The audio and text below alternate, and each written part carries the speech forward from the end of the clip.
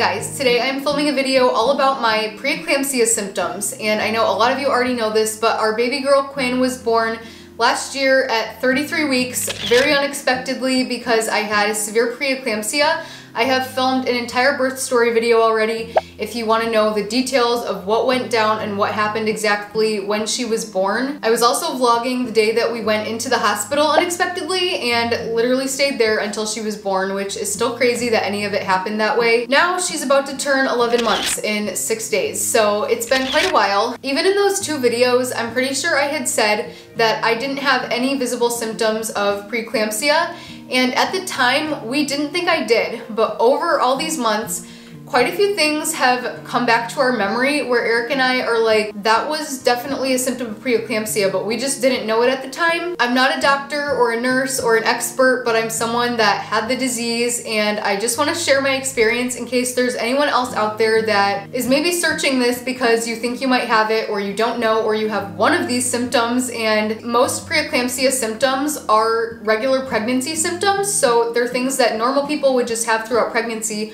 which is what I had thought the whole time anytime one of these things would happen. Like I said, looking back, there were quite a few things that happened during my pregnancy that I just thought were normal pregnancy symptoms and I didn't even Google it or look it up because I had no reason to. It was stuff that I kind of expected to happen. I really knew nothing about preeclampsia. I had heard the word, but I probably couldn't have even told you what it was. It was my first pregnancy. I didn't know anybody that had preeclampsia. I don't think anyone that I like follow has preeclampsia or had preeclampsia. And obviously, unless something is seriously wrong, I'm not gonna Google like what can go wrong during pregnancy and freak myself out if I don't need to. So it's not something that I was really aware of. So I'm just hoping this video makes people aware of it that are like me and don't even really know about it. I knew it existed, had no idea what it was, and definitely did not think that I had it or had it severely. I'm gonna put a picture on the screen of what preeclampsia is so you can just read it because I think that's better than me trying to explain it myself. This is off of mayoclinic.org, so I would assume this would be very accurate and everything that this says is exactly everything that my doctors told me. All the nurses explained to us so many times and it's all the same information I got once I got admitted to the hospital. I'm just gonna start out with symptoms that I had that I didn't know were preeclampsia symptoms. So the first thing is swelling. I remember I literally vlogged the first day in my pregnancy when I could tell that I had swelling and it was in my hands and I think it was in my feet. It wasn't super bad, but it was definitely like a little uncomfortable and I could tell if I looked at my hands and my feet, but I don't think anybody else could tell. Like I remember showing Eric and he could barely tell he agreed with me that I definitely was a little swollen, but it was something that I could feel a lot more than you could see. I thought I would vlog because this morning when I woke up, my hands and my feet felt swollen. And if you've been following along my pregnancy, you'd know I like have barely had any symptoms the whole time except for like a few at the beginning. My hands and feet don't look swollen, like they look totally normal, but I could just tell when I woke up like my rings were pretty tight and they're not like tingly like they're falling asleep, but my hands and feet just feel, I don't know, they don't feel normal and I know that's a pregnancy symptom. Someone actually commented on that video and said that I should probably go to the doctor or something because it could be preeclampsia and I remember reading the comment and just kind of passing by like that's definitely not what it is. Every pregnant person gets swelling and maybe every pregnant person doesn't but obviously that's probably one of the most common pregnancy symptoms ever and most people don't have preeclampsia so obviously I just thought like I'm just swollen like a pregnant person. I definitely wasn't assuming that I had a disease because my fingers were a little bit swollen. The swelling went away the next day, I think, but then throughout the next few days or weeks or whatever, it would come back and then it would go away and looking back, it was like a little worse every time I would get it. It didn't necessarily look worse, but it definitely was a little more painful. So I did bring it up to my doctor when I had my next appointment and she looked at my feet and she didn't really seem concerned or anything. My feet didn't even look that much different. So we just moved on because it was definitely just like a regular pregnancy symptom. And I had for sure seen pregnant people way more swollen than me and they didn't have preeclampsia. It was just swelling. So I didn't really have any reason to think anything more of it than just swelling. Moving on, I had totally forgotten about this, but I had a super bad headache one night. I've never struggled with headaches or migraines or anything like that, so it was out of the ordinary, but like I've been saying, you kind of just expect different things to happen to your body when you're pregnant, and I had heard of headaches being a thing that people get when they're pregnant, so once again, I just thought normal pregnancy symptom. I didn't really want to do anything that whole night. I just laid on the couch. I put like a cold rag over my face and Went to bed that night. It was like a pretty bad headache. I went to bed and it was gone the next morning, so didn't think anything else of it. So far, those are two symptoms that I had that were clear preeclampsia signs, but I had no idea because they're also pregnancy symptoms. This is where it starts to get scary.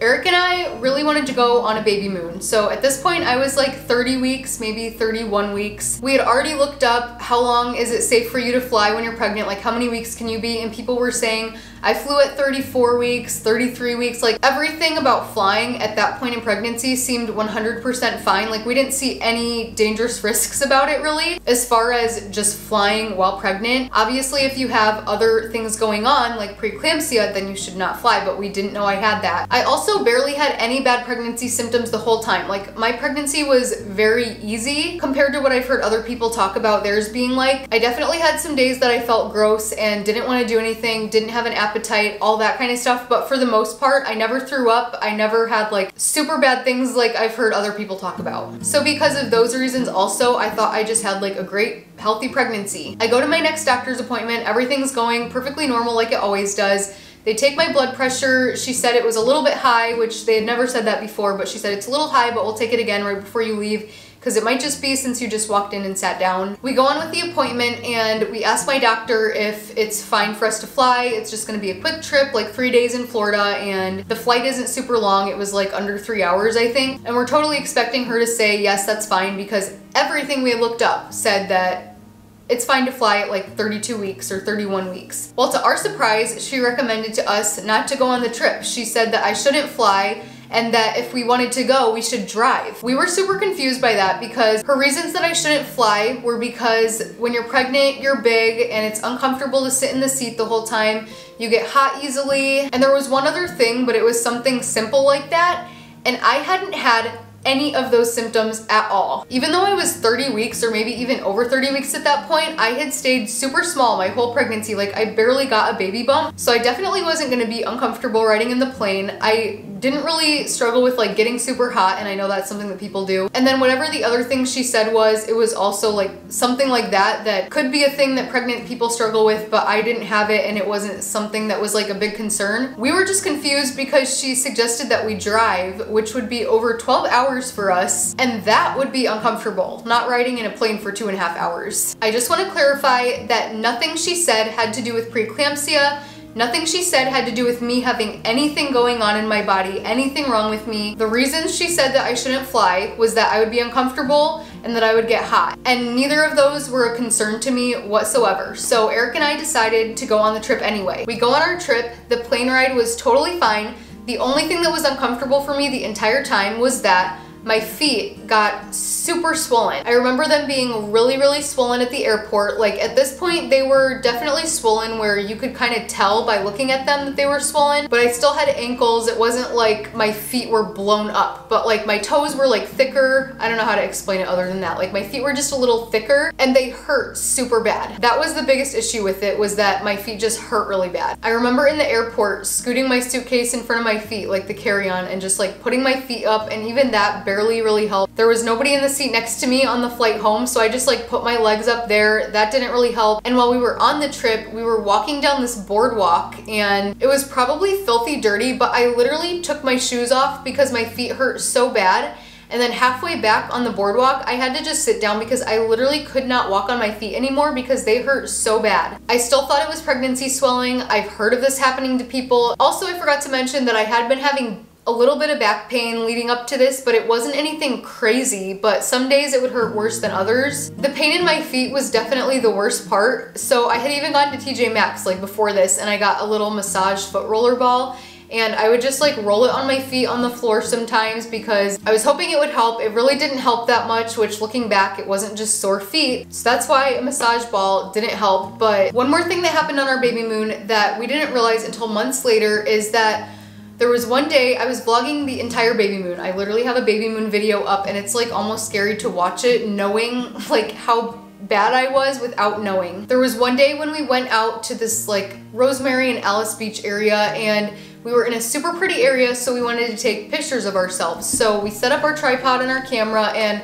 We kept taking pictures and I would go look at it and I hated the pictures. And usually, even if I like don't like how my hair looks or whatever, I'm like, okay, it's fine. But I would just look at the picture and I literally felt so ugly and it was because I didn't look like myself. At the time, I didn't even realize that though. I just thought that I looked super ugly that day and I was like really sad. I even started crying and I told Eric, I was like, I'm never taking a picture of myself again. It was like a really hard moment for me. I was probably emotional anyway because I was pregnant. We never did anything with those pictures. We just left them on the computer and then probably like four months later, we went back and we were looking through stuff from our baby moon just like for fun and we opened up those pictures for the first time since the baby moon and I was so swollen. So many people when they have preeclampsia, their swelling happens like overnight or super fast. Like they'll wake up and their nose will be huge or their lips will literally be like blown up. And that never happened to me. The swelling happened so gradually that we didn't even notice it. We were so surprised the first time we opened those pictures after all that time when we looked at them and both of us like remembered the day. We remembered me crying, saying that I felt so ugly and we were like, I was so swollen. Like no wonder I didn't look like myself. But even with that swelling, I still didn't look like a typical preeclampsia patient because I wasn't as swollen as they usually are. The day we got back from our baby moon, that day in the airport was by far like one of the worst. My feet were hurting so, so bad in the airport. And we came home that night and I just like wasn't feeling good at all. I felt like everything just hurt. I figured it was from a day of traveling. Even though the flight wasn't super long, you're still like pulling suitcases, carrying bags, walking a lot. So I just thought that's why I felt not the greatest. My back hurt super bad, my feet hurt, my hands and feet were kind of swollen. When we got home that night, I just wanted to like take a bath. So I go to fill up the bathtub. I'm pretty sure I even like put a bath bomb in there and we had no hot water. It was February and we had been gone from our house for a few days, so none of the hot water had been used, so I went to fill up my bath and there was nothing. This night was literally the most miserable up until the night that Quinn was actually born because I remember when I couldn't take the bath, I came out on the couch, Eric and I were trying to watch a movie and like I could not even focus. My back was hurting so bad, my feet were hurting, and I still didn't think that anything more than pregnancy symptoms were wrong because once again, it's common for your feet to hurt, it's common for your back to hurt, and it's common for you to be swollen. So why would I think that it's anything more than that when I had literally heard so many people have those same symptoms and they were fine? I think it was the next day, most of those symptoms had all gone away. I felt a lot better the next morning, and then that night we were watching an online birth class. I did not want to go into like actual birthing classes, so we were just watching one online. I started getting a bad headache again, and it was even worse this time. This is something that I had totally forgotten about once again, once I was in the hospital and everything was happening. Like this didn't even cross my mind at that point. I remember we didn't even finish the birth class that night because I couldn't even like listen to it. I couldn't open my eyes. I just laid on the couch, put a rag over my face and just like dealt with the headache.